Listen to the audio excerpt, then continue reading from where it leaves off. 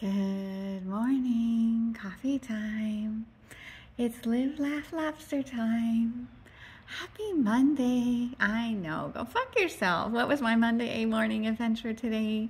A tiny, itty bitty little frog jumped out at me in my house that I accidentally brought inside, and it was a whole ordeal to get him back out, maybe.